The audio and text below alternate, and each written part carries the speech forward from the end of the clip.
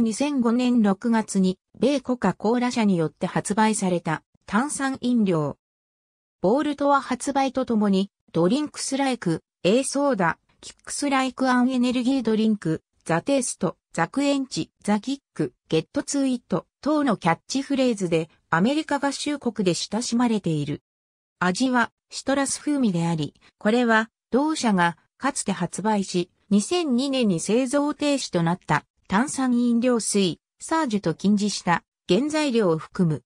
そのあまりに似通った風味のせいか、コカ・コーラ社代表は現在サージュ、店頭販売復刻を切に願う熱狂的ファンによるコミュニティサイト savesurge.org にボールトの発売の告知とその信用性を表示している。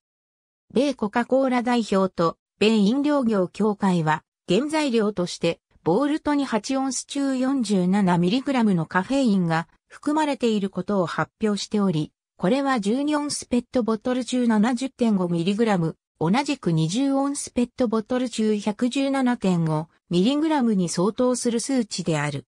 これは、サージュの12オンス中 52.5mg、ペプチコーラ社の炭酸飲料水、マウンテンデューの同量中 55mg のカフェイン含量より実質的に高い数値となっている。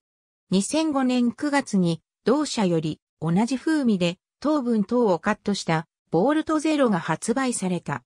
全米発売の前に2005年6月から9月の第1月曜日にあたる労働者の日まで一部限定地域で同商品の試験販売が行われた。